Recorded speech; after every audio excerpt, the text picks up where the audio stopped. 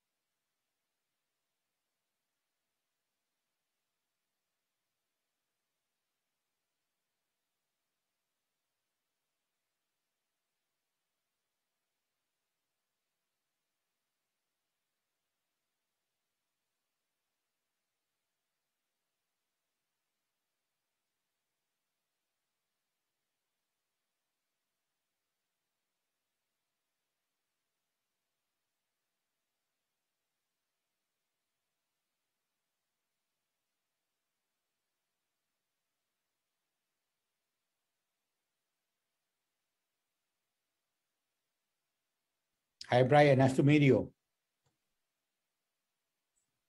Nice to meet you as well. Yeah. So Are you in the welcome clinic to, today? yes, I, I wish, I want to know more about your program too. After, maybe we can keep in touch. Yeah. Yeah. Um, well, I'll send you an email with, and we can get a conversation started. Yeah, so great. Yeah.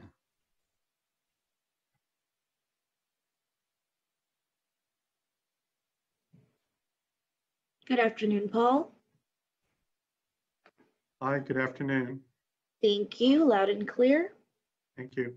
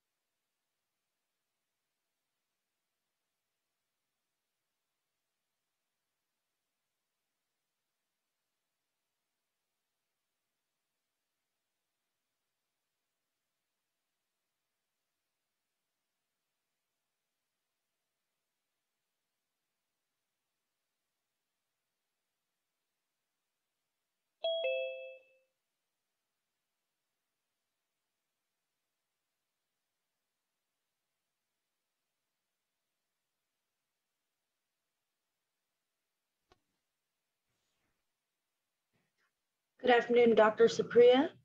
Yes, Hello, we can hear you loud and clear. Have a great meeting. okay. Let me see. My video won't turn on.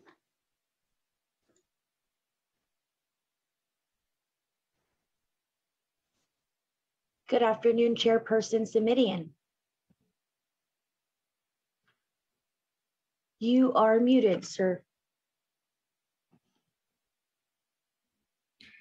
I was asking if I was coming through loud and clear because we're using a new microphone system. We can hear you. Thank you. Great, thank you so much.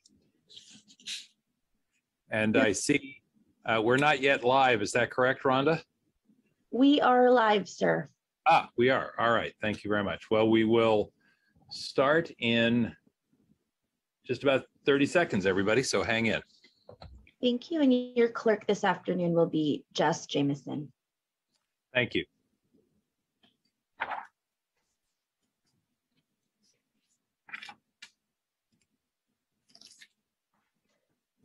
All right, ladies and gentlemen, thank you all very much for joining us today. This is the Santa Clara County Health and Hospital Committee. I'm County Supervisor Joe Simitian, and I uh, am serving as chair of the committee this year.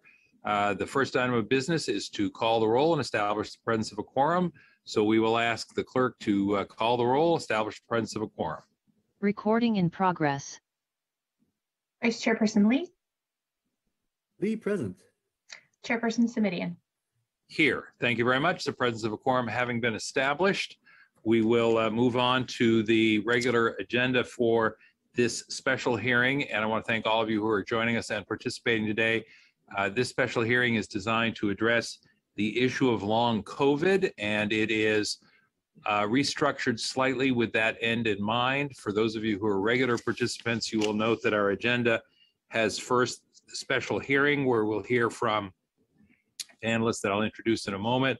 We will then ask for comment on the item at the end of the item, uh, meaning after we've heard from our two panels and after there's been some question and answer with Supervisor Lee and myself. And then we will take the thing we call public comment, which is the opportunity to comment on non-agendized items and make that the last order of business for our committee today. The plan in terms of timing is to spend the time between now and, um, oh, I'd say four o'clock uh, on the two panels, so roughly 45 minutes for each. Uh, Then at four o'clock, we will uh, try and make sure we wrap up expeditiously, but then take comment from members of the public on uh, long COVID, today's topic, and then take public comment as well on non-agendized items. So I hope that's clear to one and all, and we'll see when we get there how many folks we have with uh, comments at that time. Let me begin uh, by uh, welcoming and thanking our panelists for the first panel. Uh, We have with us Dr. Brian Block, and Dr. Block, if you would just raise your hand so we can uh, identify you. Thank you very much. Thank you for being with us. Uh, And Dr. Block uh, is joined by uh, Dr. Hector Fabio Bonilla. And uh, let me ask Dr. Bonilla, am I pronouncing your last name correctly, Dr. Bonilla? No problem. You did right. Thank you. Thank you. And then finally, we have uh, with us uh, Emily Huff, uh, who is also with us today. And uh, Dr. uh, Block is with UCSF, University of California, San Francisco. Dr. Bonilla is uh, at uh, Stanford Medicine. And Ms. Huff is with us from uh, Brown University at the moment, although she is ordinarily assigned, as I understand it, to the National Health Service in Great Britain. So thank you all three for being here with us today. I will introduce our second panel uh, after we have wrapped up the conversation with uh, this first panel. And I want to begin with um, my thanks, as I said earlier, as our county has dealt with the day-to-day crises of the pandemic over the last year and a half, almost two years now, we have been obliged to deal with the urgent uh, necessities of the moment, but we've also been obliged to think a little bit longer term about where are we headed and what are the longer term consequences. Hence uh, the topic of today's special meeting. Uh, so I have a, a series of questions. Uh, Supervisor Lee, I'm going to just start by trying to introduce this issue uh, with uh, questions directed to Dr. Block, Dr. Bonilla, and Ms. Huff. And so let me start with Dr. Block and say, Dr. Block, what is long COVID? Just uh, lay that out for us if you would, please. Great. Well, thank you for that opening question. and Thanks for inviting me to share with you all today. So what we know about people who have coronavirus is that they can have an acute infection and then we hope for them to recover and get better. And what our experience has taught us in taking care of patients is that it's very normal to have persistent symptoms that last a couple of weeks, even up to a month or two after their initial infection. So I want to say first that that is not long COVID. And if you have persistent symptoms that last for a couple of weeks to a couple of months, you could still end up having a complete recovery and be what we would consider a normal trajectory for someone recovering from acute COVID. Now, what we've also recognized is not everyone does follow that path and make a complete recovery after a couple of months. And so, what we now describe as long COVID is a syndrome of persistent symptoms that last for more than a couple of months and, be, and have to persist beyond two or three months after the initial infection.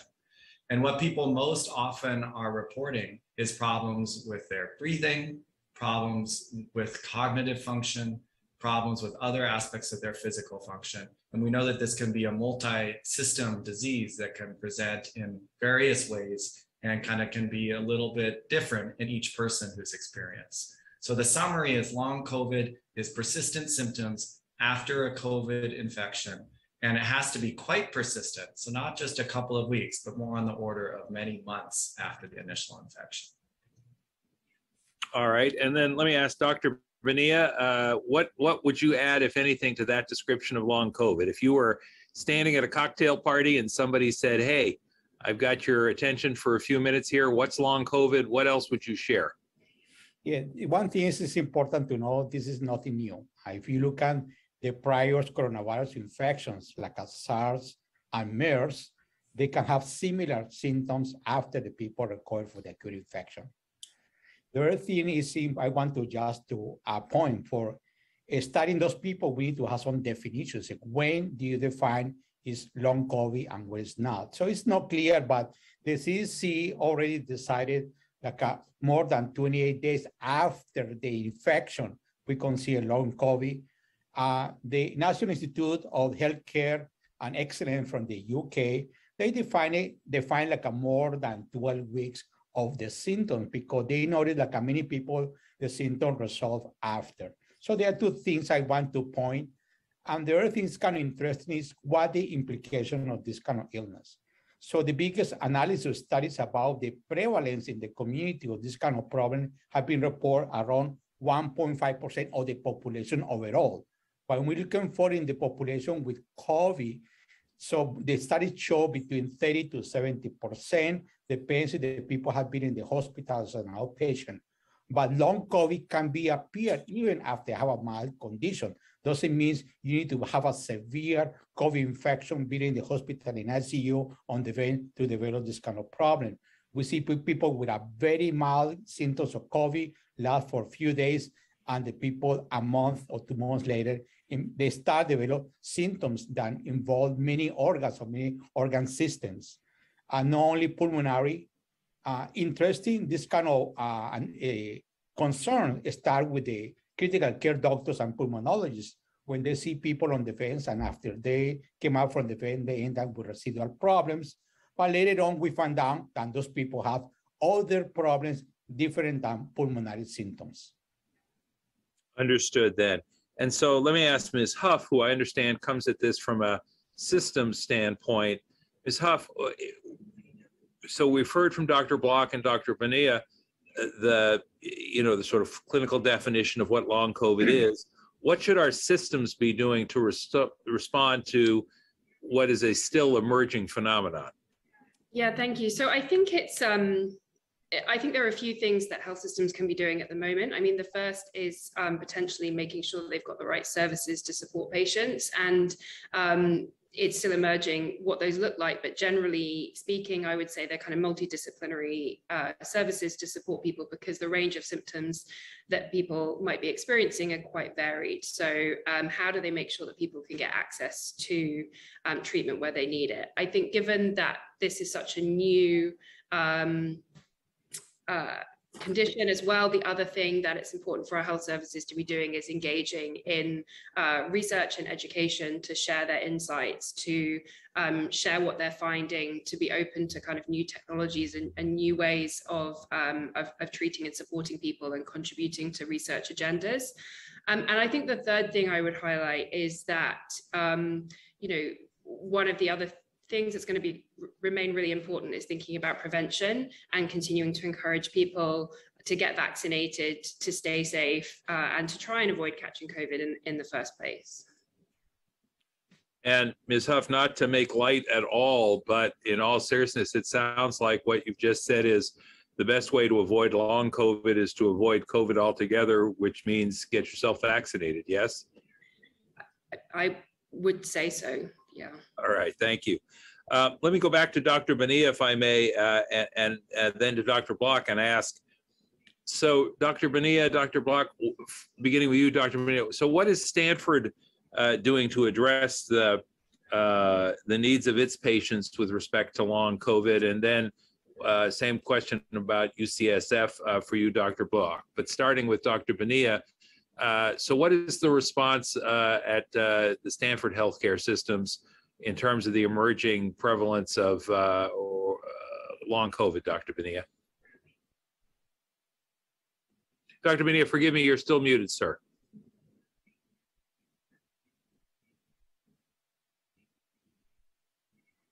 There we go. So we, we found out I was part of, the clinical trial for therapeutics as an outpatient. And we find out many people after they finish the clinical trial still remain with symptoms. So we of concern and we have a conversation and see what are going what are going to do with these kind of problems. So my division of infection diseases and as well as the Department of Medicine uh, through the complete diseases, we having a conversation and see what thing we're going to do. So we create a clinic, they call we call the PASS clinic. And this PASS clinic is like a, a group of physicians that include two infection diseases, one primary care doctor, that we evaluate those people, try to assess what kind of organ system those people have. And we have a cooperation with a different colleague from different kind of groups, cardiologists, rheumatologists, neurologists. So all together, so we evaluate and we refer to these patients to the appropriate uh, doctor. In this way, we can cooperate, one, try to understand the problem, and through try to figure out potential therapeutics. And at this point, we don't have no standard therapies. We try some drugs, and some people have been working, other ones not. But this is a very complex disease, and people can present only with a cardiac problems, respiratory problems, or neurological conditions. So we need a multidisciplinary approach try to address those issues. We have already close to 100 patients in our cohort, and we're planning maybe to keep on enrolling patients, uh, maybe for until we have more in, better understanding of these kind of conditions. As well as we are talking with groups around the country, try to get some consensus about how approach this kind of illness, what kind of diagnostic tool we needed, and what kind of potential therapeutics we're going to have for those patients. Thank you. Dr. Bonilla, it, just because I'm taking notes rapidly, did I hear you correctly saying something like 100 patients in the clinic at this point? Yes, you're correct. Thank you. And uh, Dr. Block, what's your experience at UCSF uh, and how are you approaching uh, this same uh, need uh, or set of needs? Yeah, so I think we have a very similar approach that's modeled on the multidisciplinary and interprofessional approach to caring for people who have a lot of needs across different parts of their body and different organ systems. So we set up a clinic that we call the Optimal Clinic that is run by us in the division of pulmonary uh, because many of the patients are coming with shortness of breath or had prior pneumonia in the setting of their COVID. And that's kind of our starting point. We do a, a comprehensive evaluation and we work similarly with collaborating colleagues in cardiology, neurology, psychiatry across the different divisions, trying to individualize the support for each person that we meet and make sure that we're um, able to rise to whatever symptoms they're coming with and, and work them up appropriately. Um, our experience, we've seen several hundred patients uh, who are recovering from COVID in our clinic. And I think one thing that I want to, you know, kind of elaborate on my prior um, definition about and also to make clear in why I think this multidisciplinary approach is so important is that people can have persistent symptoms after COVID or any other kind of viral infection that can last for a long time. And we want to be very, you know, uh, careful in identifying what the cause of these symptoms are and not just attributing any ongoing symptoms to coronavirus and at the expense of overlooking other potential medical diagnoses or other conditions that are causing these.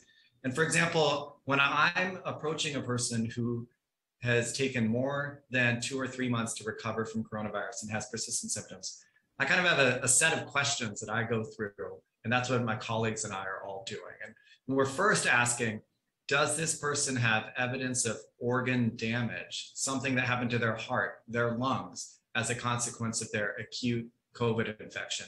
If so, then they're having a post COVID condition. They're having a detrimental impact on their life because of COVID. But I wouldn't say they had long COVID. I would say they have lung scarring from prior pneumonia, or they have a cardiomyopathy, a problem in their heart, but they have a specific identifiable diagnosis that we can name and we can extract from other treatments to describe how to treat.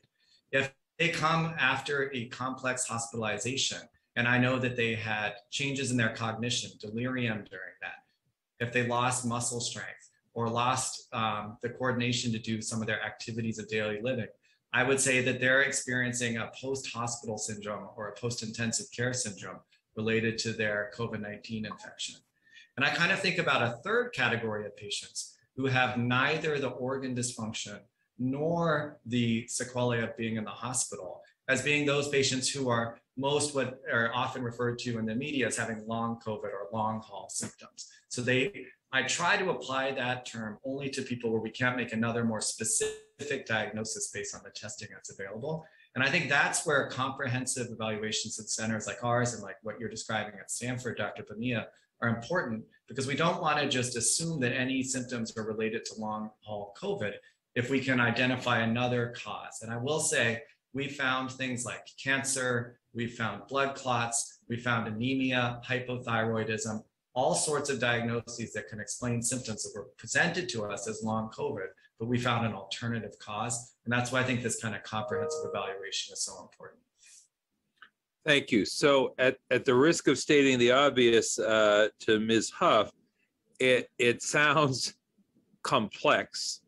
It sounds complicated. It sounds multidisciplinary.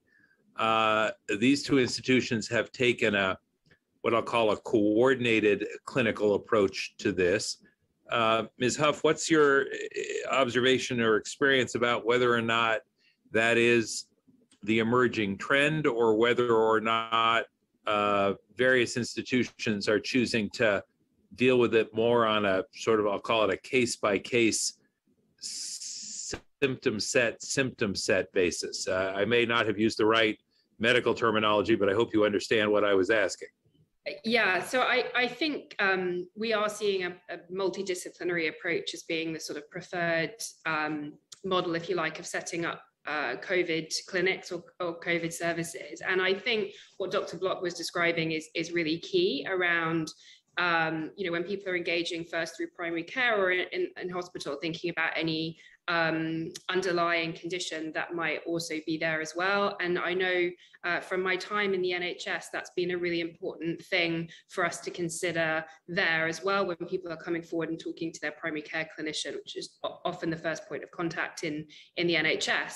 You know, people during COVID uh, didn't always come forward if they had um, an, an, issue because of, of concerns around um, you know being out and about and so it's really important that um, that the, the right uh, research is done around that individual to make sure that it is long COVID rather than something else. And I think what's been described around the multidisciplinary engagement is, is really key. Um, and one of the other things to consider is that um, it's not just having an impact on people's health.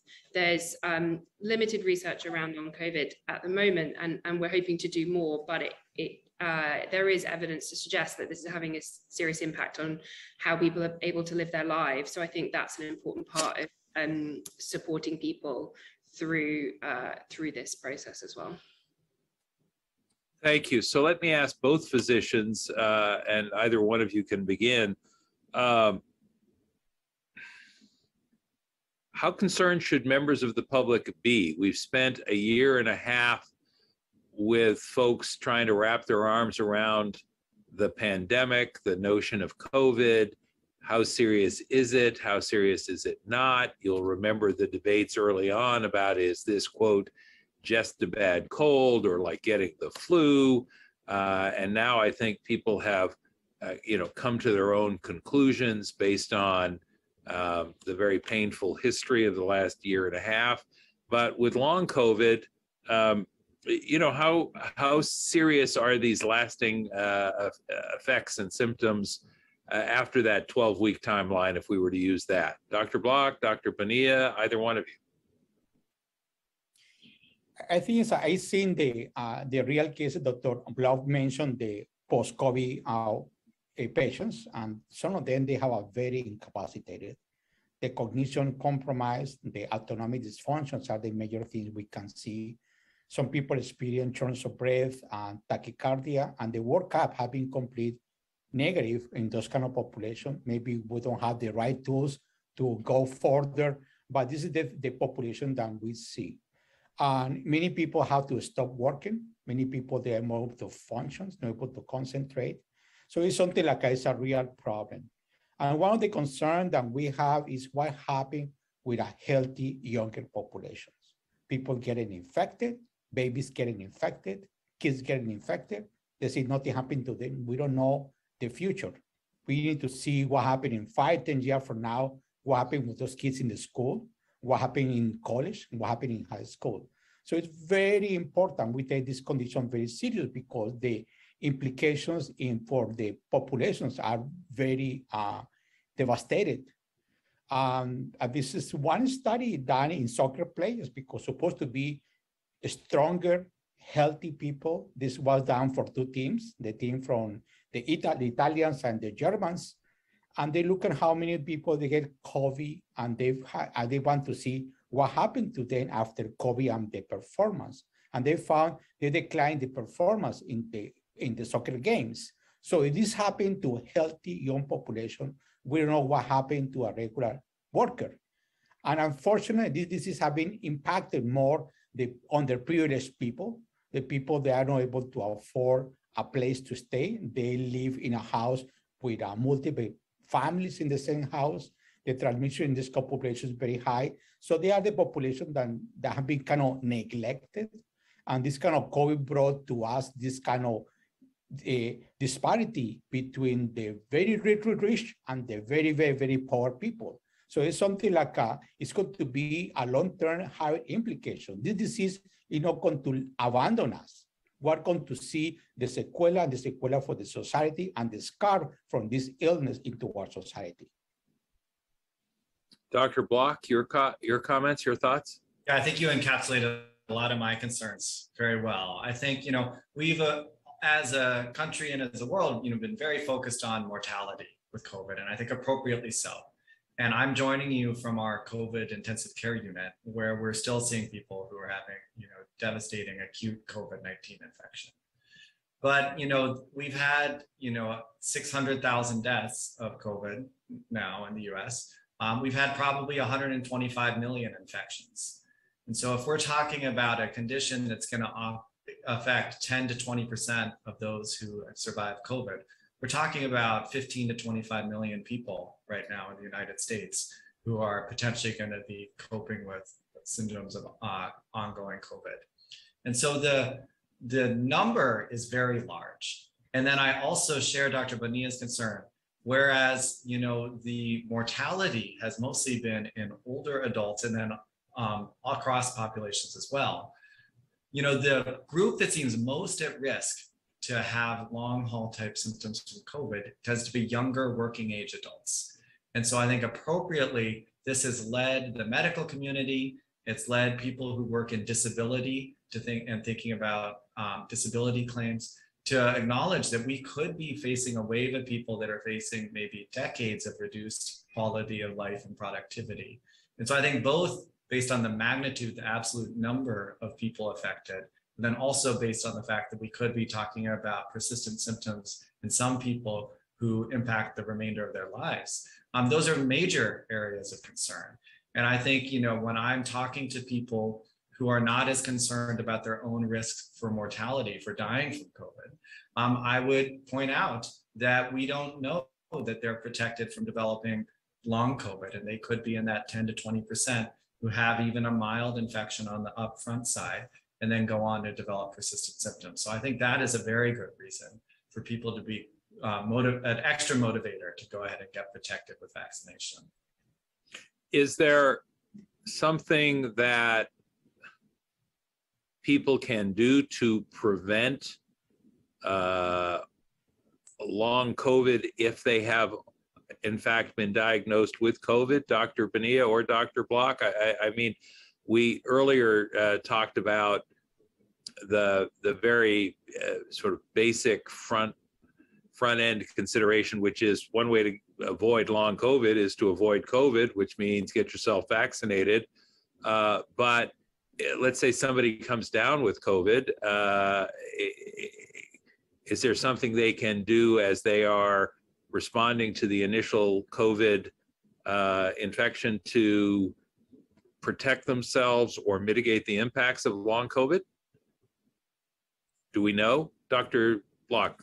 Sure. So First of all, on the vaccine front, I do want to say that there is data from trials. There's two that I'm aware of that show that the risk of having persistent symptoms at six weeks or beyond is lower if you're vaccinated. So even if you're vaccinated and have a breakthrough infection, seems like you're less likely to go on to develop long COVID. So that's just to underscore the protection of vaccines.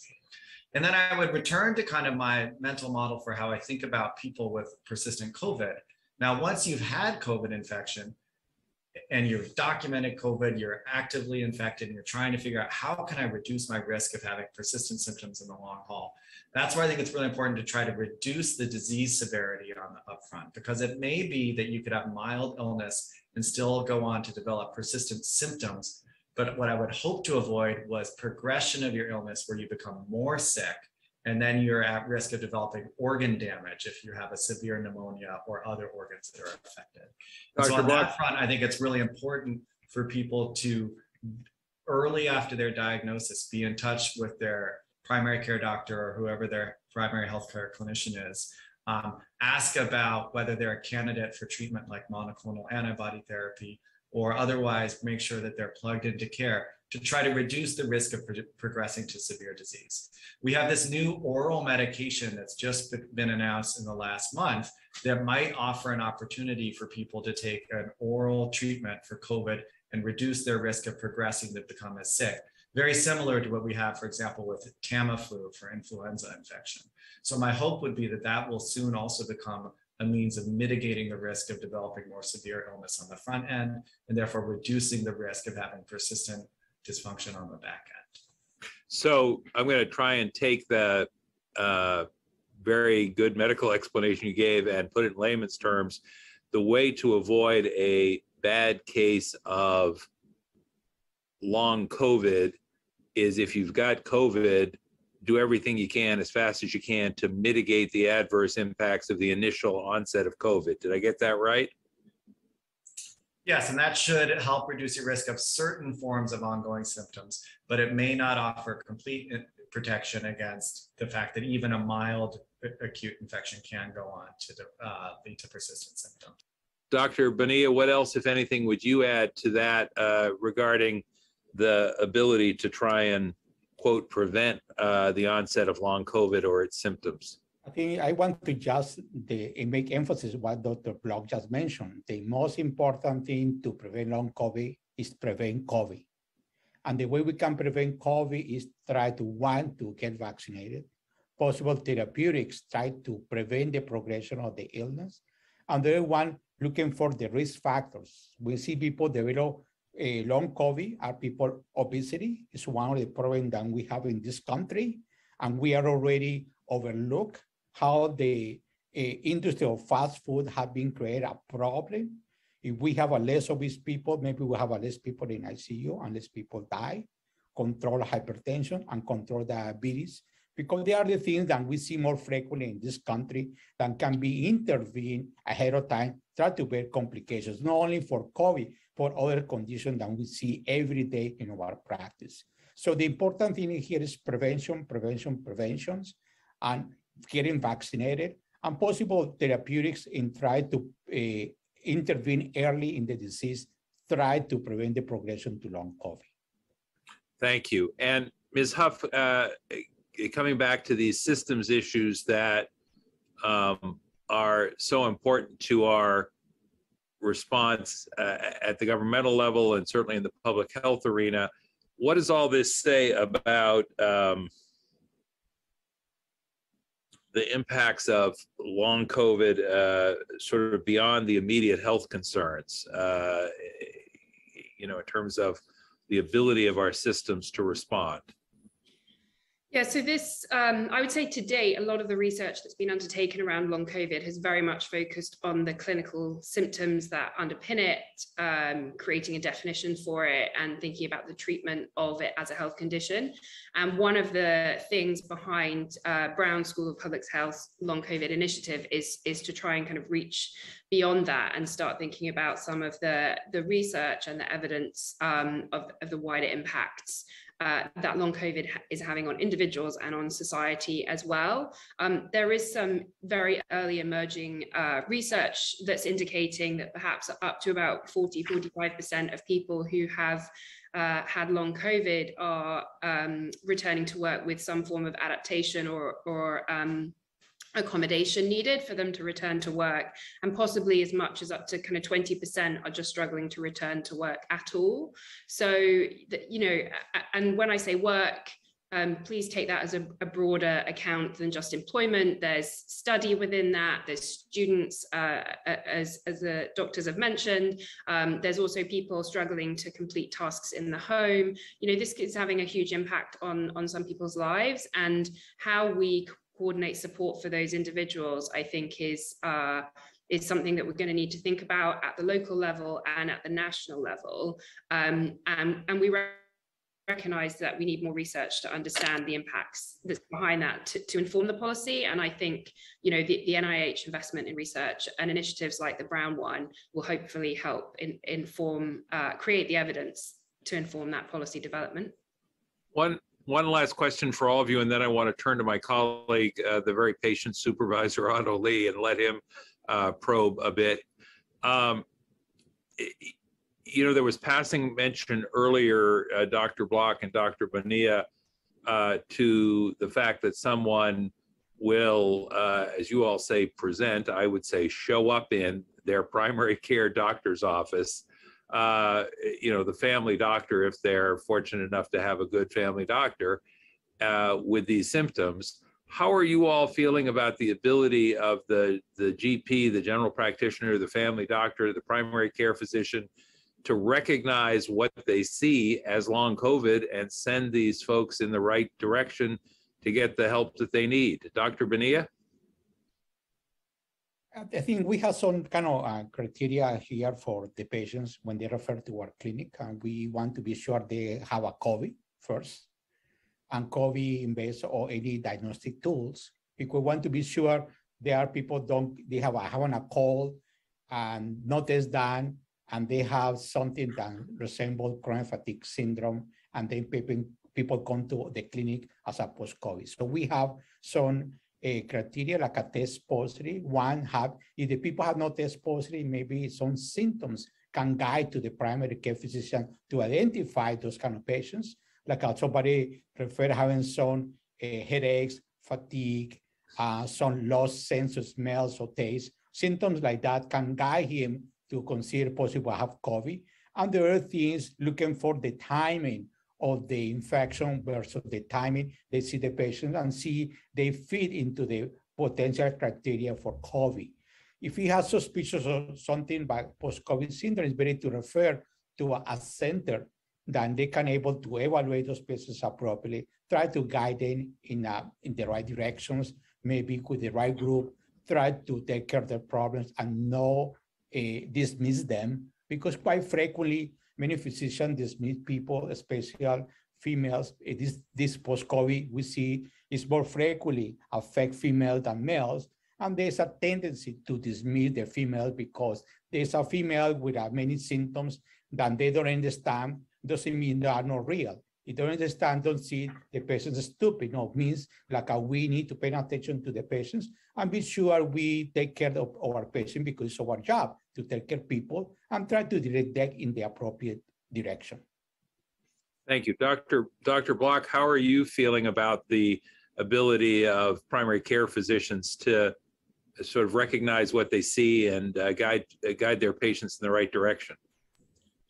I think it's critical. And I think that this is exactly a role that primary care, I would hope, is feeling comfortable stepping into. And I think it's an important way that they can serve their patients. And I say it for a couple of reasons. First, coming back to the issue of scale, right? If we're talking about tens of millions of people who are at risk for this, we don't have specialized multidisciplinary post-COVID clinics at this time that can accommodate that many people. And I think access is critically important here. We already know that this is a pandemic that has shown a spotlight on inequities in our in our country and in our healthcare system. And so we want to make sure that people have access to the type of treatments that they need. And doing that through a primary care doctor as a first step, I think is a great pass. Um, with that in mind, uh, you know, our approach is that we're trying to get out into the community and speak to local groups of primary care doctors and provide education so that people can feel comfortable uh, with the initial assessment and treatment of patients that are recovering from COVID. And on a lot of times, providing reassurance that their symptoms that they're still having two, three, four weeks out um, do not mean that they necessarily have long COVID, because a lot of people are very worried about that. I think the other place that we can add value is exactly what Dr. Bonilla said, is I think there are patients who unfortunately have had their symptoms dismissed and they have seen multiple doctors. They've been told that there's nothing wrong with them in a dismissive way that doesn't acknowledge the experience of what they're living on a daily basis. And so I think that we, you know, in a added layer, second pass as a subspecialty clinic, is we can provide some of that reassurance based on the volume and the experience that we're seeing in terms of many patients and add as that backup layer behind the primary care doctors who are playing the first role. I also think that because this is a, a disease that can affect multiple parts of the body, and that we know that there's a very strong mind body connection, and it can also have impacts on cognition and mood and mental health and well being. I think seeing a clinician that you trust is really important for having faith in the treatment that you're getting. So if that person is a face that's familiar to you because they've been your primary care doctor for a long time, I think that therapeutic relationship could provide a lot of benefit in helping address the symptoms that people are having. Thank you. Ms. Huff, uh, you're, I'm going to give you the last word on this before I go to Supervisor Lee. I, are we, are our healthcare systems in this country set up for what I'll call this, you know, sequence of referral from uh, primary care physicians to folks who are specializing in the long COVID field? Or uh, what's your sense of this uh, in terms of the existing American healthcare system? Um, I am quite new to the American healthcare system, so I'm not entirely sure I'm qualified uh, to, to answer that question, but I would reiterate the importance of it and the importance of supporting primary care clinicians to understand this condition. Um, we've talked a bit about the importance of continued research, education, learning. I think that it's really critical that reaches out into our primary care colleagues. Um, and it's really important that we're helping them to understand what um, what it might look like when someone turns up at their um, clinic with with these kind of symptoms and the importance of, of not dismissing that as both um, clinicians have indicated and um, and supporting people to um, be listened to and uh, receive treatment for the symptoms that they're experiencing. And what I would say is that the uh, support for primary care in doing that and support for coordination of the patient in their personalized experience is one of the, the core planks of, of what the NHS back in England has been focusing on and how we support people when they, they will tend to turn up to their primary care or their regular clinician and, and often that will be in primary care um, if they don't have an underlying health condition. And I, I do think it's going to be really important that we help those clinicians understand um, how to best support those patients in, in getting the help that they need um, and I think there's going to be more to do to uh, to do that because we're still learning about long COVID. All right, thank you. Supervisor Otto Lee, uh, who's the vice chair of our committee, thank you so much for your patience with my questions and these sort of opening, uh, hopefully table setting remarks. Uh, questions uh, that you'd like to offer our panelists? Yeah, I'll throw the question out to everybody. Thank you very much uh, for this very informative uh, discussion on long COVID. Uh, certainly a very complicated and multidisciplinary issue. Um, and we certainly have all kinds of stories. For example, some says they have brain fog, some says they have uh, a loss of taste. Uh, are these the type of symptoms that we are seeing in long COVID? And if you could tell uh, and explain how, how that works. And do you also see what whether people might have a weakening immune system uh, in terms of fighting future infections as well. As, are these the issues we're worrying about?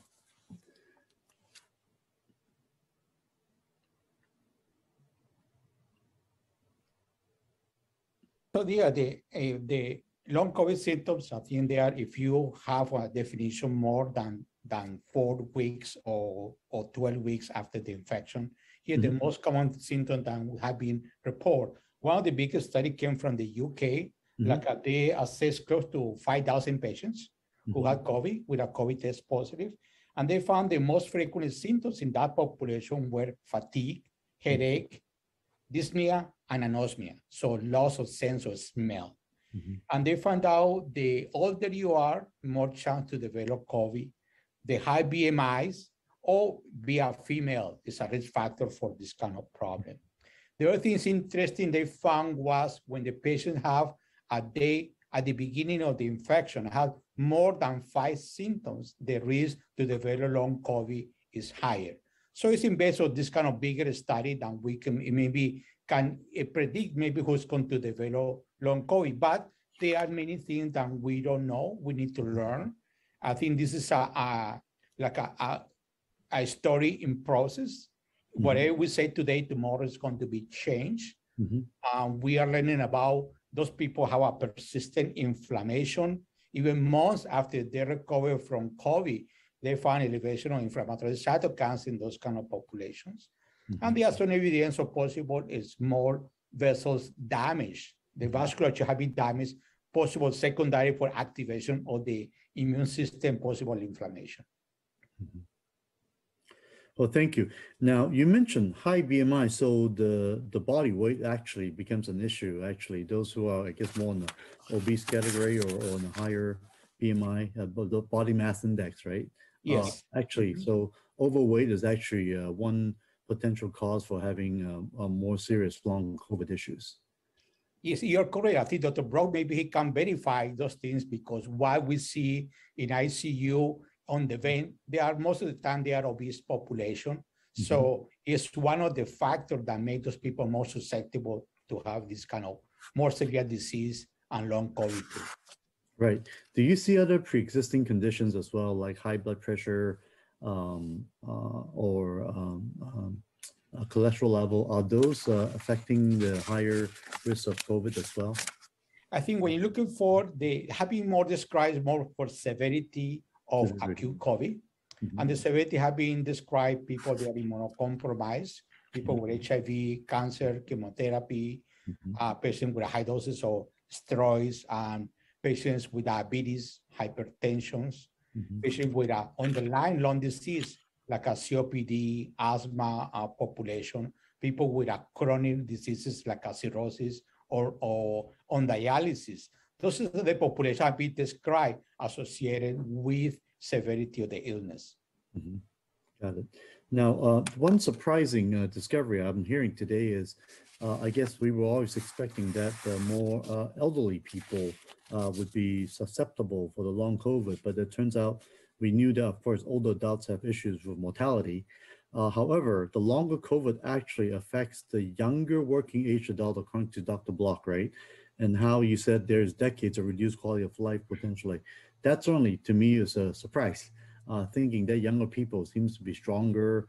Uh, the fact that they actually seems to suffer uh, or have more numbers of them suffering from long COVID, that seems to be uh, somewhat counterintuitive almost. But maybe you could elaborate that a little bit more, Dr. Block.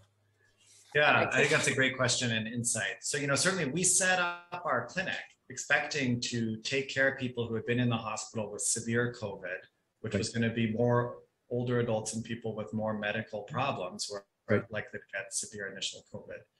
And we were expecting we were going to see them and take care of them after they left the hospital. And that's certainly one population we've seen. Mhm. But we were also surprised by the fact that we were meeting a lot of people that did not have those medical Mhm. risk factors for severe illness. People who were in their younger adulthood coming to us with persistent symptoms despite the more mild acute illness.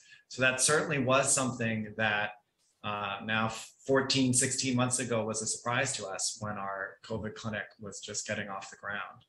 Uh, but I think that experience has been borne out around the country and around the world is that this is a population that's at risk.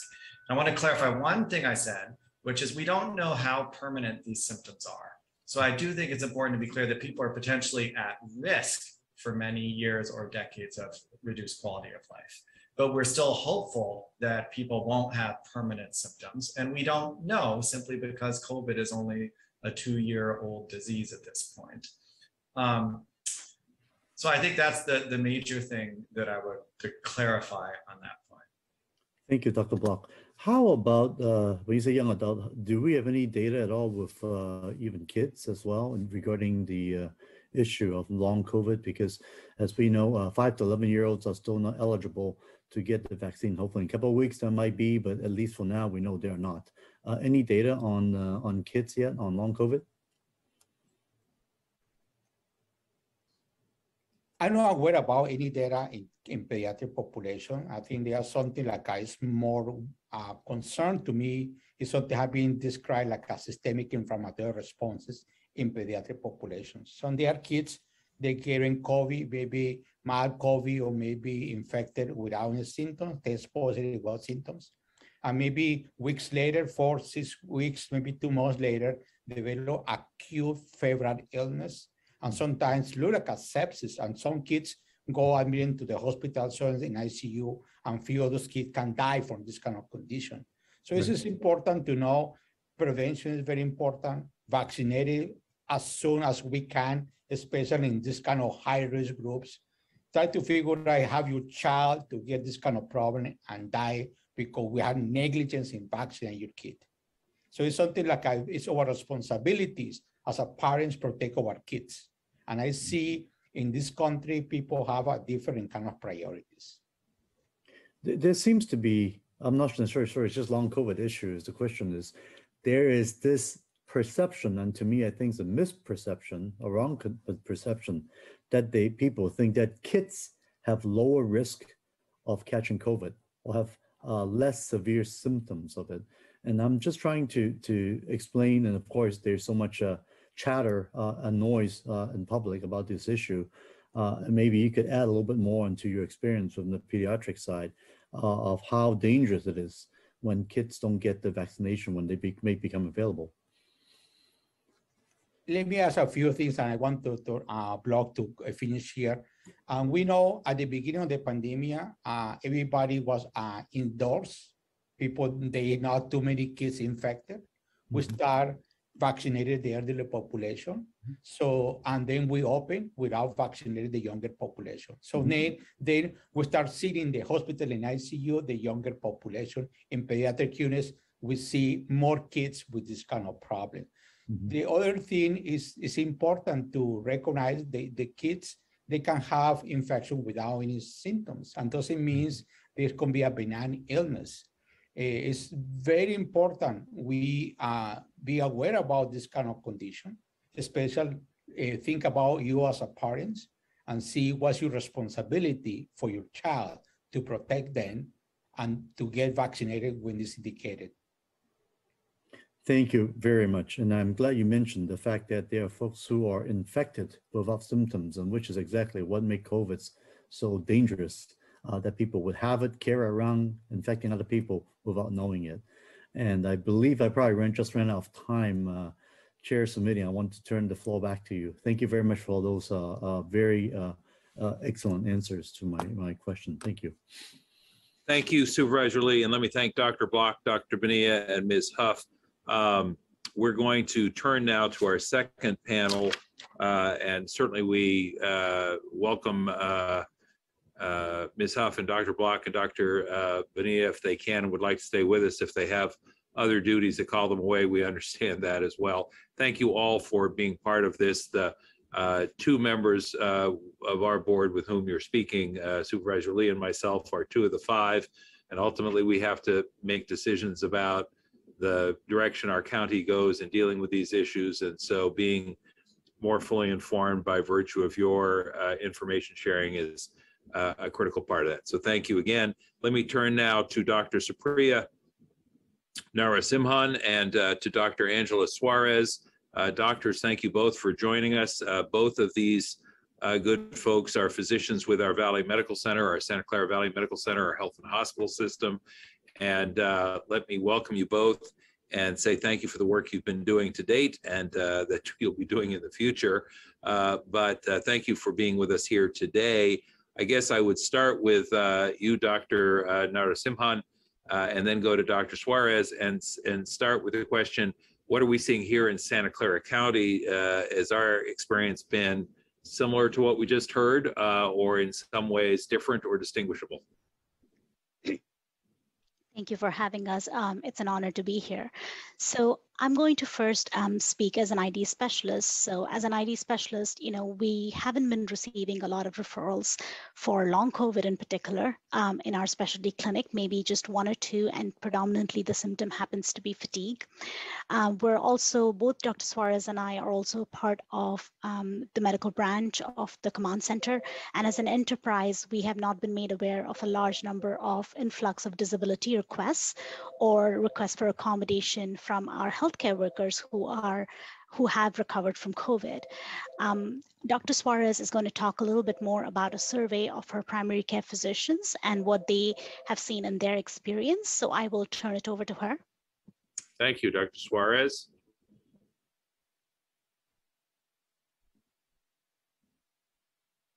I think Dr. Suarez, you're muted.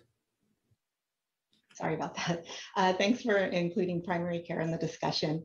Um, currently, we don't have a clear picture on the prevalence of long COVID in our system, and that's mostly because we just recently had the ICD-10 uh, diagnosis code for long COVID added to our electronic medical record.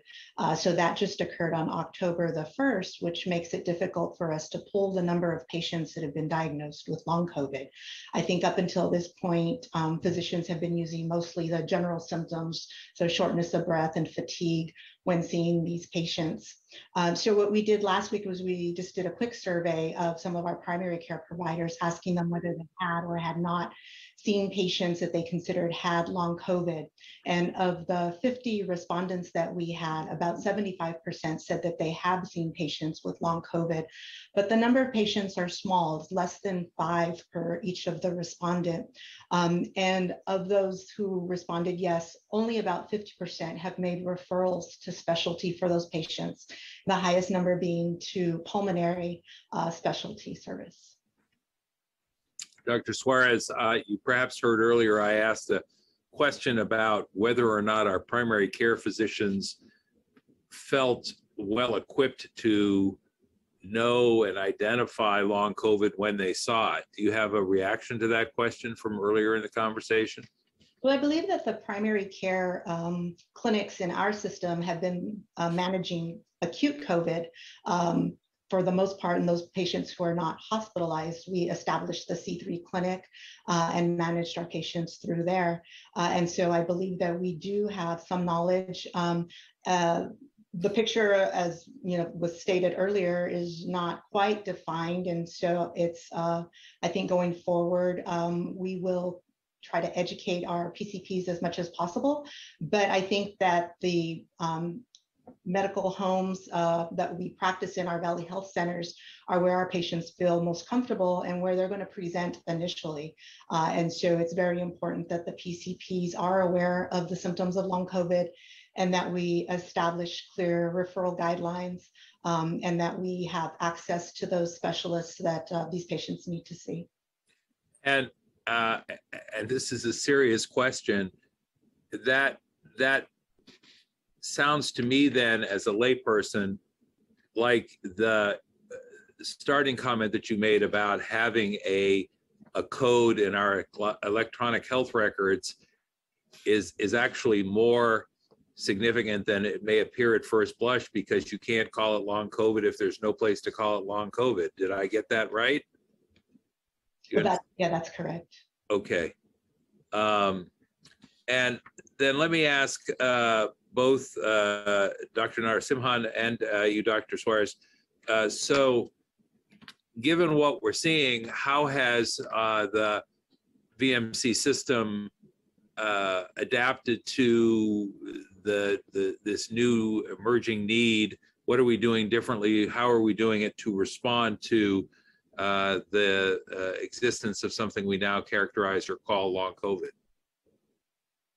Right, so um, I'll start on that. Um, so as Dr. Suarez mentioned, we've added long COVID as an ICD-10 code to our electronic medical record system to help us with data mining going forth. Um, until then, right now we are actually working with our primary care doctors and our pulmonary colleagues to make sure that initially on diagnosis, our COVID patients have good um, follow-up, basically anybody who's discharged from the hospital can be scheduled with their own primary care doctors in their uh, post-hospital discharge slots, which are urgent slots, and anybody who is hospitalized and doesn't have an assigned PCP is seen in, an, in our urgent care clinics. Um, as Dr. Suarez mentioned, there's a lot of education going around on making sure that people are aware of symptoms and the patients are educated to seek care. Um, our patients are more comfortable with their primary care doctors and their primary clinics being their sort of patient-centered care for access and referrals are generated from there. We've also confirmed that um, both cardiac and pulmonary rehabilitation is available through O'Connor Hospital for patients who have cardiopulmonary um, complaints. And ICD-10 code of long COVID is accepted and um, is um, paid for by the insurance companies as a cause for seeking cardiopulmonary rehab. So we've made sure that those referral pathways are streamlined and access is provided for our patients. Dr. Suarez, your comments or thoughts on how we have been or should be responding to the emergence of this newly characterized uh, phenomenon? Yeah, I, I agree with uh, what Dr. Narasimhan said. Um, also, what we're finding in our primary care clinics is that for a period of time, we were offering just televisits, uh, and we're now welcoming our patients back in for face-to-face visits. Uh, I would think if I took a survey of my colleagues, um, we are seeing far more patients who have chronic medical conditions that are uncontrolled. And so we're working hard and fast to try and get the diabetes under control, the hypertension under control. Um, and I personally have had many patients when they come in, I you know look at the chart and say, "Oh, you've had COVID," um, and and they'll say yes, and you know we'll talk a little bit about that. But then you know we have to move on to the fact that they're their weight has increased by 10 pounds. Their diabetes is you know now uh, a1c went from 7 to 10% and their blood pressure is high because the medication has fallen off over the course of the last year. So we're very busy in primary care trying to get back on track. Um, but at the same time, you know, I think that we are aware of our patients who have been infected, uh, and we are aware uh, to ask whether they have any persistent symptoms. Uh, we also have patients who are unvaccinated still at this time, and so we are um, encouraging all patients to be vaccinated and asking um, reasons for not vaccinating. And we have vaccination clinics in all of our Valley Health centers. And so we will have our staff personally walk them to the clinic for vaccination if they agree. So we're very busy in our primary care clinics right now, but I think that, you know, information regarding long COVID, uh, most people are aware of, and uh, we are addressing uh, patients who have had COVID. And for both of you, doctors, if I may, it it sounds and and please uh, either confirm or help correct me if, if need be. It sounds as if we are taking a less clinical slash integrated approach and a more uh, symptom specific approach. Did I hear that right or no? Uh, yes, I think that uh, when patients come in, we are following up on any persistent symptoms they may be having. Dr. Narasimhan? Yeah, I would like to add that um, for a subpopulation of patients who are recovered from COVID, specifically those that have significant pneumonia, our pulmonary clinic does provide their own follow-up. So anybody who is, um, I just want to exp expand a little bit on this. Anybody who's admitted to the intensive care unit or um, into the progressive care unit with severe COVID pneumonia, they are at higher risk of having more pulmonary fibrosis and more pulmonary symptoms during recovery. These patients are seen and follow up by our pulmonary colleagues. They are assessed for symptom severity. Necessary tests are done to see how much anatomic damage there is. This might include X-rays, CT scans, pulmonary function tests, spirometry, etc. And again, um, some of these patients, especially the ICU recovered ones, mainly need long course of systemic steroids, but the other modalities include um, inhaled corticosteroids as well as um, other um, format other uh, modes of rehabilitation, including pulmonary rehab. So for that subpopulation, the, pulmonary clinic does provide a centralized approach. For the remainder of the symptoms, which Dr. Suarez mentioned and our prior panelists mentioned, it's, it's a broad variety. It can be, um, you know, brain fog, it can be shortness of breath, it can be fatigue, it can be neurologic, where we're allowing the primary, our primary care doctors to make the assessment about which specialty they should refer to and what that trigger should be. Got it. Thank you. And let me just ask, um, and we talked a bit with the earlier panel about this, obviously, but eh, you know, what what should we be sharing with members of the public about what they can or should be doing to address the risks of long COVID? If we believe it's a a real thing and uh, a, a consequential thing at that, what should we be saying uh, or advising the uh, the public? You know, in terms of their behavior, their uh, their efforts to avoid the potential for long COVID. Right. Um, so to answer that, I'm actually going to borrow something you said earlier in the call, which is to prevent long COVID, you have to prevent all COVID.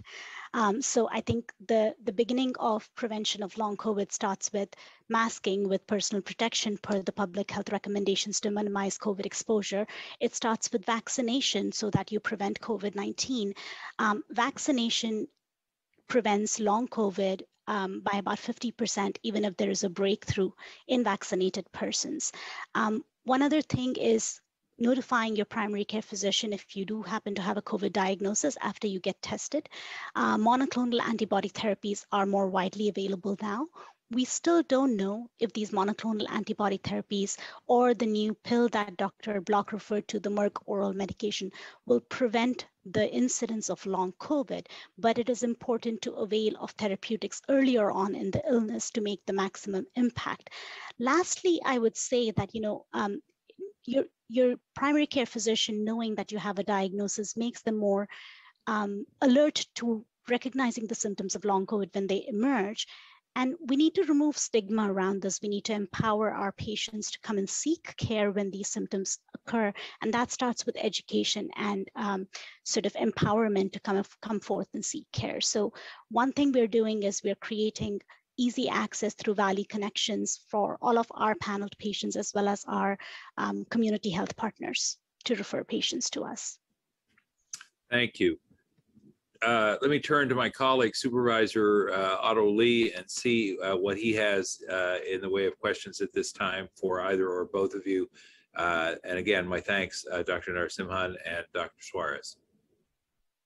Yeah, thank you. So one statement you just said, Dr. Narasimhan, I just want to follow up on it to make sure I get it straight is you said that vaccination of uh, against the COVID, those three, you know, Pfizer, uh, Moderna, or Johnson, has shown to prevent long COVID by 50% for those breakthrough cases. Um, uh, so that's that's really exciting to hear because clearly vaccination is so important, not just to avoid COVID, but even if they have a breakthrough case, right. that would potentially, we know, talk about lessening severity uh, of yep. the case, uh, preventing people from dying, but also be able to prevent the long COVID by half. And, and particularly among the younger population who might uh-huh. think, oh, well, I'm not going to die from this, then right. the, the amount of disability this can potentially cause, perhaps right. that is a big driver of, you know, acceptance of vaccination as well. Right, exactly. So, so we shouldn't use dying as the uh, the measure of doing well, we should use the fact that uh, lessening severity, preventing you go to ICU and all that, uh, or, or longer disability uh, as, as, a, as a very important point as well. How about the um, issue regarding, uh, we, we, we earlier talked about uh, body mass uh, index, like the higher, higher kind of a weight issue is a problem. how about, and also women is being mentioned as one has more long COVID issues. Um, can you maybe elaborate a little bit more about the issue regarding men versus women on it, and also how that might affect pregnancy and, and those type of issues? Okay, so one thing I would like to start with is that long COVID seems to have a a myriad of symptoms and it affects different mm-hmm. organ systems. Right. And these symptoms, these symptoms tend to cluster in certain symptom complexes. So people who are obese, people who have high BMI, they tend to have more severe COVID illness. And on recovery, these patients tend to have more pulmonary symptoms that are persistent beyond recovery from the acute illness. When we talk about other symptoms of long COVID, including post-exertional malaise, fatigue, etc., Mhm. these tend to happen more often in women, typically younger women, age 25 to 50.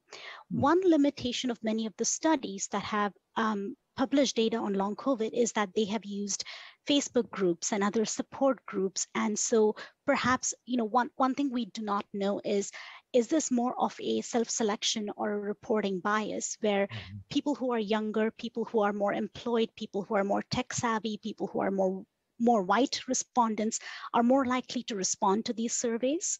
Um, so which is why we're seeing that pattern.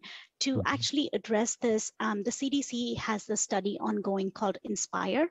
Mhm. And what it is doing is it is at, it is looking at people who seek COVID testing and have a positive diagnosis, and people who seek COVID testing and have a negative diagnosis, thereby creating a control group to Right. make sure that you know perhaps other viral illnesses do this too. Perhaps some of this is pandemic fatigue. Perhaps some of this is related to mental strain during the pandemic, and mm-hmm. these people are followed linearly in time every three months up to 18 months to address some of these questions.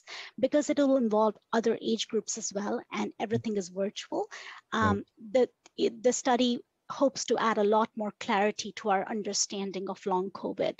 Um, in terms of your question about pregnancy we know that pregnancy is a risk factor for more severe covid and pregnant patients tend to have symptoms longer.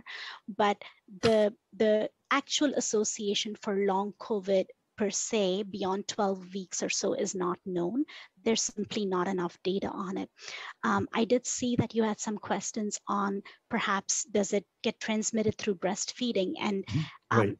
one of the things is that long COVID is deemed to be mostly post-infectious, meaning there's continued inflammatory um, activity in the body due to damage initiated by the virus, but Right. the viral shedding is not present. So I'm not aware of any transmission to others, including, you know, through breast milk to the to the baby um, from a mother suffering from long COVID.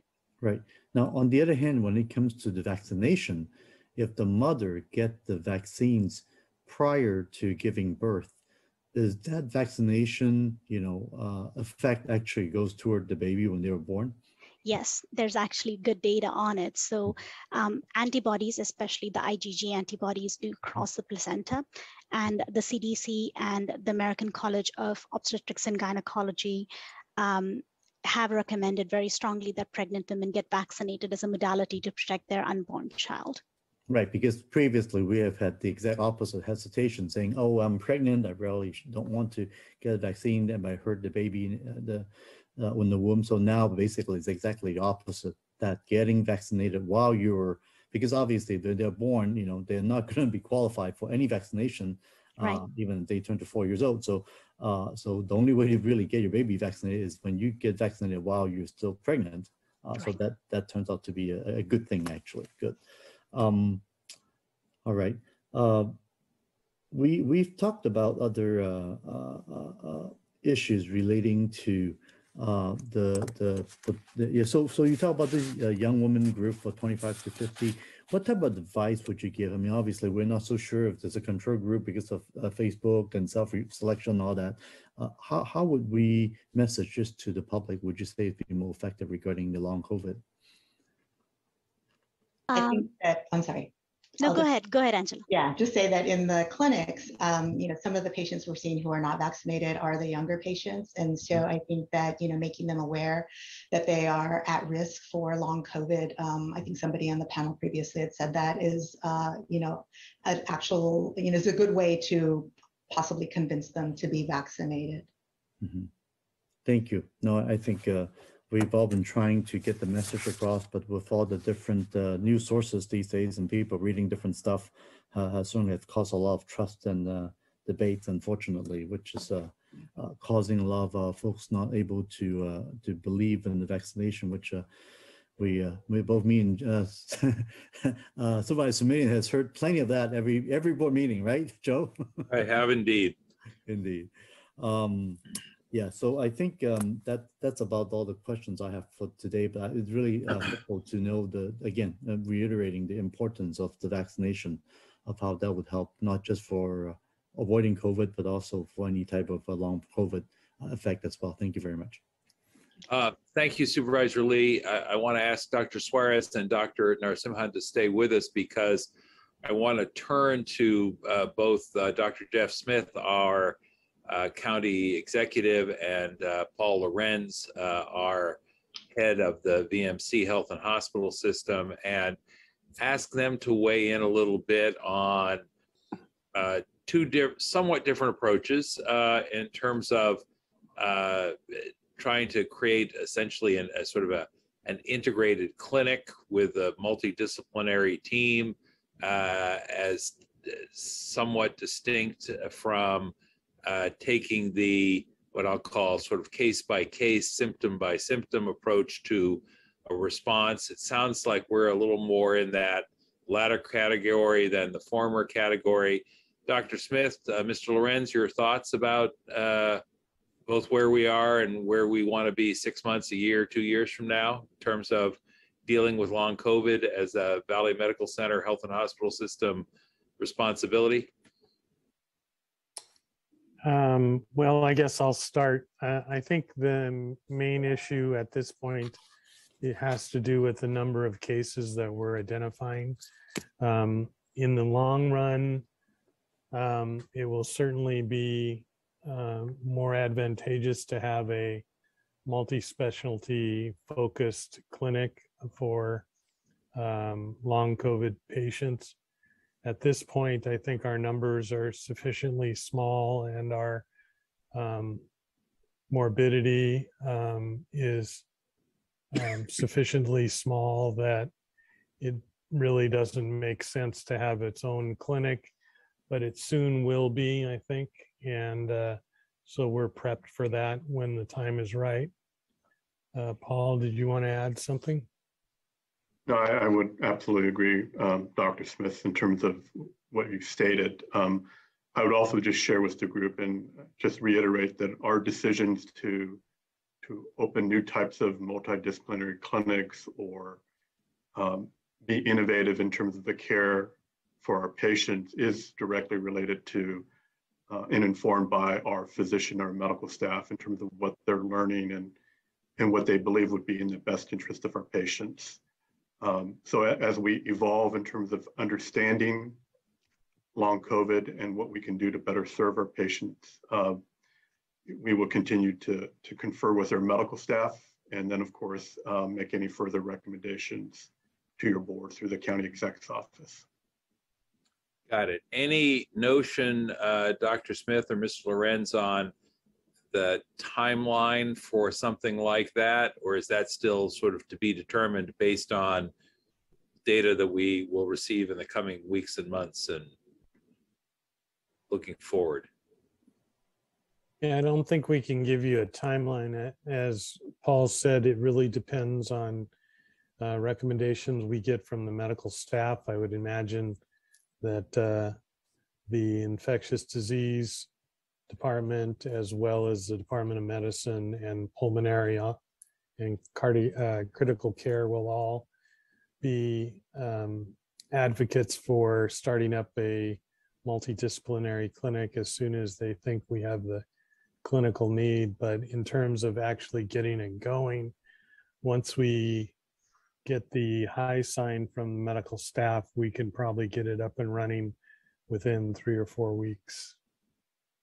And what should we be doing in the meantime, uh, Dr. Suarez and Dr. Narasimhan, to make sure that where the symptoms are in fact multiple in nature rather than, you know, a, a single uh, set of issues, that folks don't get siloed in our system or limited in their care and attention to a uh, to an individual specialty when perhaps there are two or three different symptoms? How do we make sure that folks get referred to uh, the help they need, even if it's cross-cutting in terms of specialties? I think as primary care providers, we are used to um, referring to the specialties that are needed by the patient. So I don't see that that would be a problem. Um, you know, we want to be able to refer to pulmonary, but maybe we also have to refer for mental health services or social services.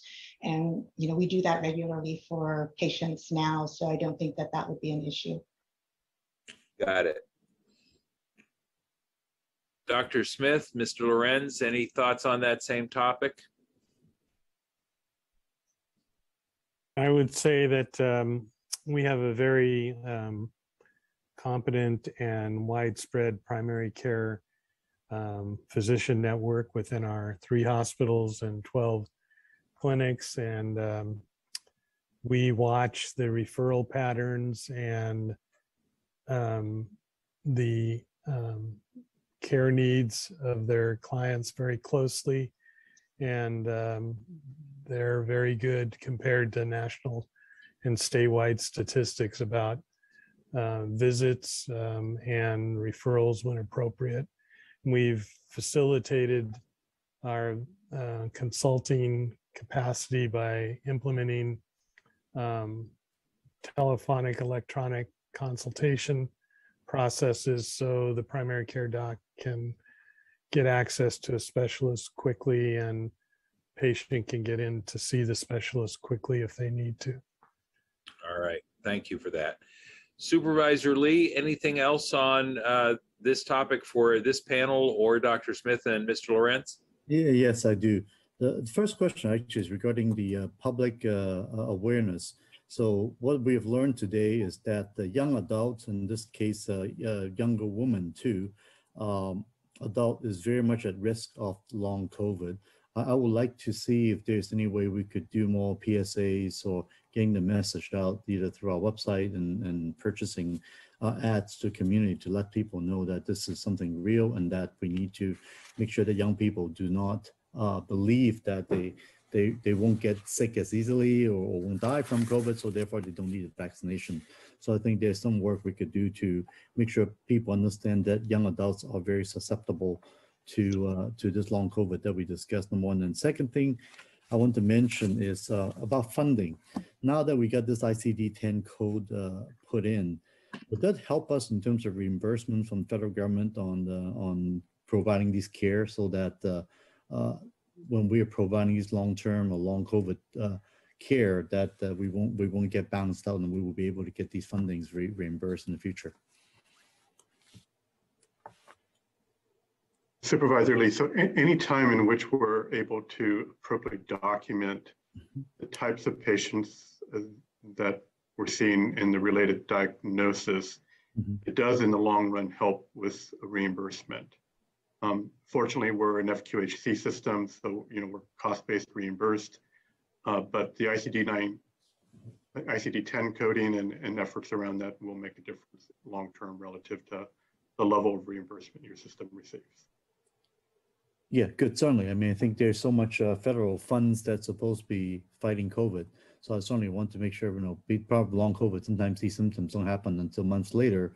Uh, we certainly do not want people to then try to that we provide the treatment and then the government says, well, this is too long after the COVID, nothing to do with it, right? We want to make sure that we're able to tie the cost and the fact that uh, this is a COVID issue that we should get reimbursed for, uh, for the patients as well, right?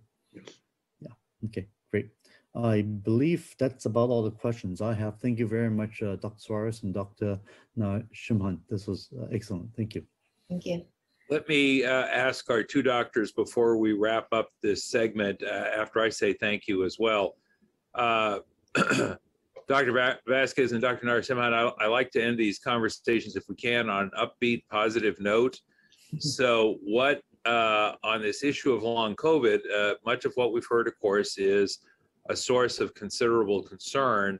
What can I ask you to share that will be uh, reassuring both for our board and for the public about the future uh, ability of our healthcare systems generally and Valley Medical Center uh, systems in particular to address long, uh, long COVID. Let me give you that open-ended question with uh, what I hope can be a, a cause for optimism as we wrap up the conversation today. Well, I think on my uh, end, I will say that operationally, uh, over the last year and a half, we have been able to assess um, when we needed to start new programs or new um, services and have been able to do that quite effectively. Uh, we did that with testing, we did that with the C3 clinic, with monoclonal antibody vaccination.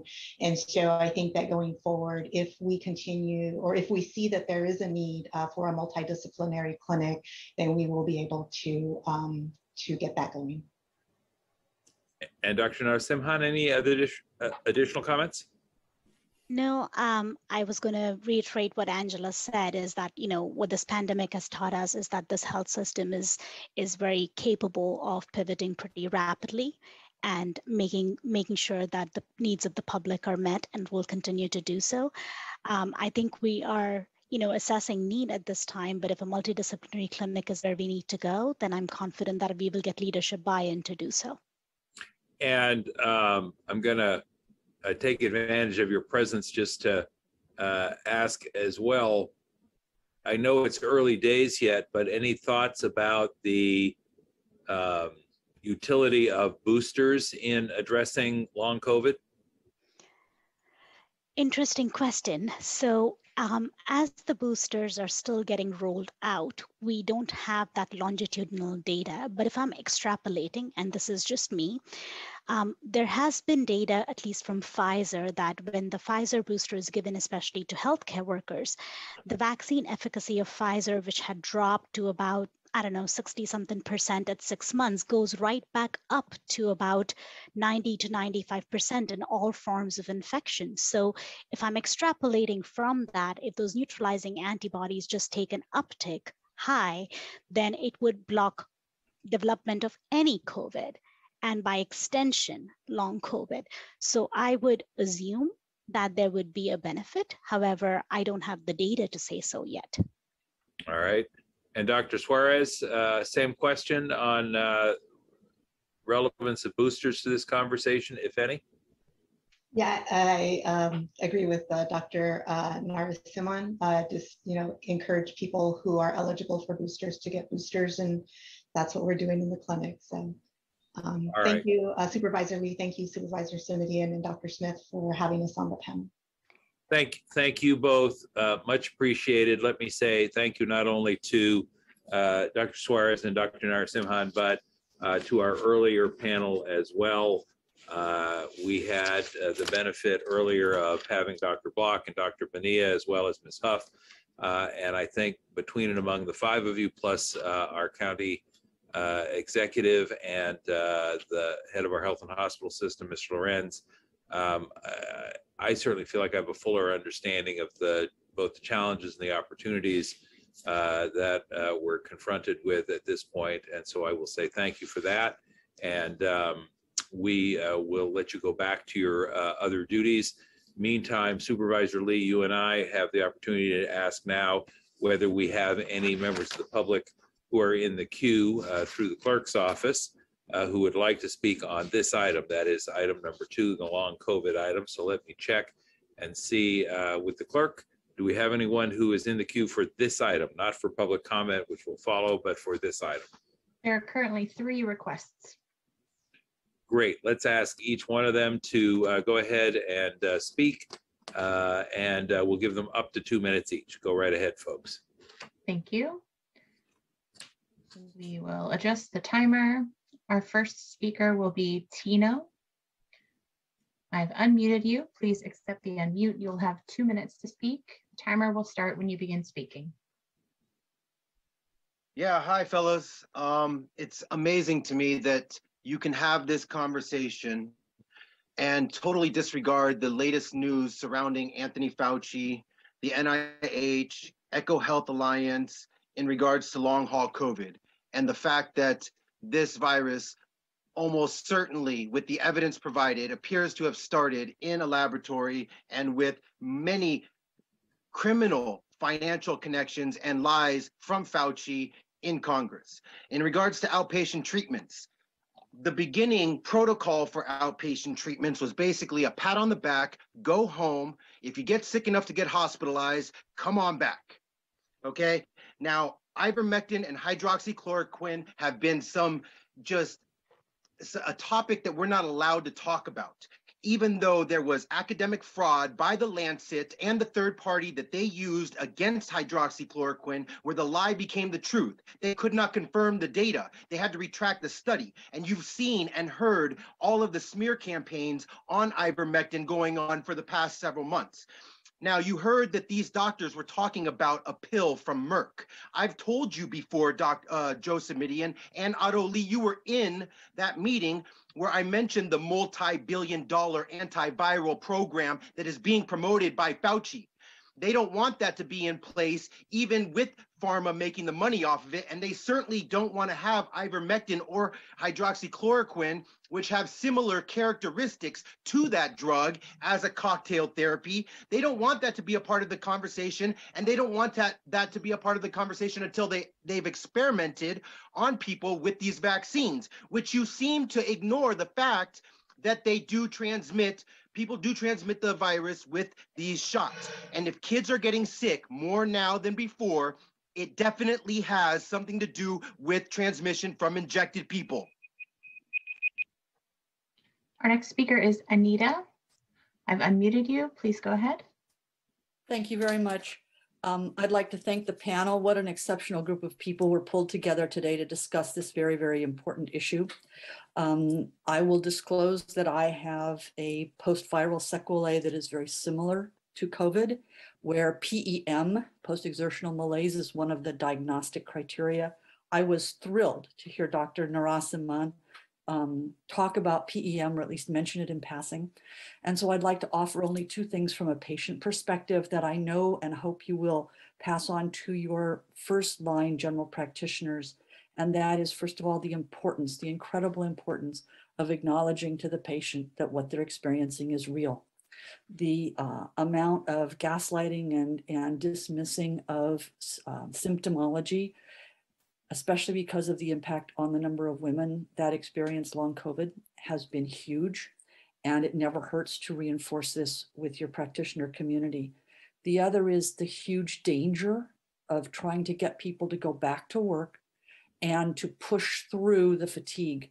That possibility that PEM becomes a chronic, continually and increasingly, increasingly disabling part of this disorder is huge. And the biggest danger of that is people who try, especially these people in the workplace who are at peak earning years, feeling they have to go back to work, that they have to push through, that they, if they exercise, they're going to get better. When in fact, we, we now know that if PEM, where PEM is a part of this disorder, that kind of exercise will in fact make you worse and may potentially permanently make you worse.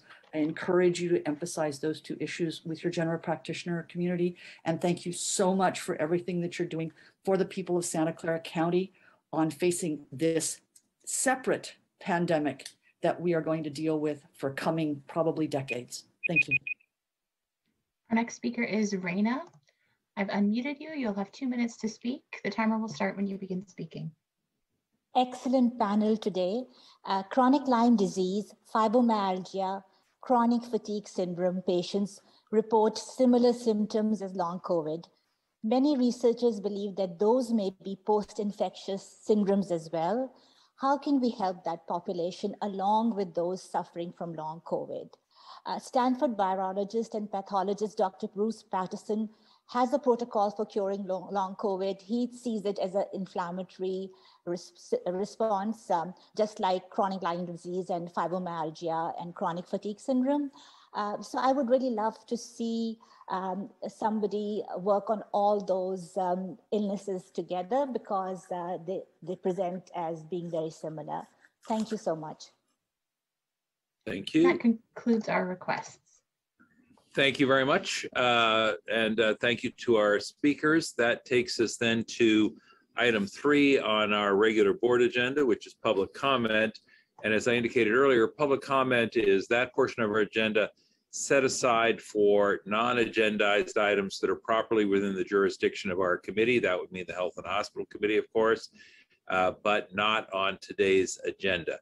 So let me ask the clerk, do we have any uh, one in the queue for uh, general public comment? I do have one request. All right, we'll give that person up to three minutes. And again, for non-agendized items, go right ahead. Thank you. We'll just adjust our timer.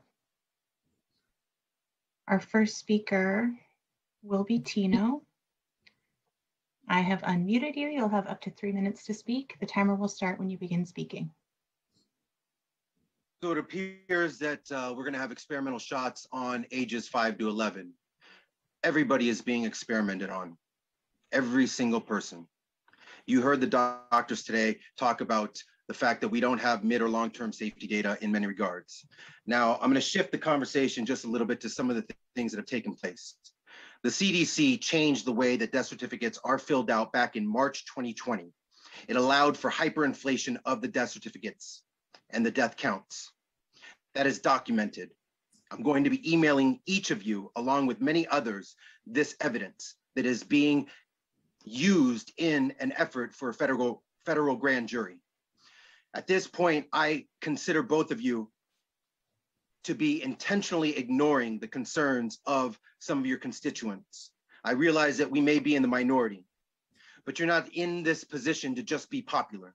You're supposed to ask difficult questions. Beyond the CDC changing the guidelines to the death certificates, we weren't even as a county with the public health department and Dr. Sarah Cody, even in line with the state with how they have the guidelines to fill out these death certificates for well over a year. And that's with their loose guidelines. You have not held her accountable. She talked about the issues with the testing. She acknowledged PCR does not tell you if you're infectious. She acknowledged that it can just mean a positive test result can just mean that it's quite sensitive. I've I've proven to you and shown you Joe Simitian. I sent you the video with Dr. Fauci saying that we need to overhaul our testing strategy, but that's not going to happen until December 31st. And when he said it, he was promoting that multi-billion dollar antiviral program sponsored by Big Pharma. He said we need to completely overhaul overhaul our testing strategy in order to properly diagnose and properly treat people, which means that hasn't been happening entirely up until this point in time. Now, as we move forward and the experimentation continues on, there is a concern for both the unvaccinated and the vaccinated moving forward. The vaccinated are carrying just as high of viral loads or more as those who have been unvaccinated. There has never been a problem with asymptomatic transmission up until uh, January 2020. And many argue that it didn't exist until we started with these shots. But these shots are allowing people, by as many scientists are saying, to walk around asymptomatically where they are carrying scary loads of the viral loads. If kids are getting injured without being injected, we have to consider that and we're entering the cold and flu season where antibody dependent enhancement and enhancement in general is a major concern for people who have been injected. We don't have the data to say otherwise. And that concludes our requests. Thank you very much. Uh, That then concludes uh, today's uh, specially noticed Health and Hospital Committee meeting and the special hearing on long COVID. And without objection and hearing none, I will thank all of the parties and members of the public who uh, took time to speak today. And we will adjourn to our next regularly scheduled meeting, which is uh, currently scheduled for Wednesday, November the 17th at 2 PM. Thank you all once again, and without objection, we are adjourned. Recording stopped.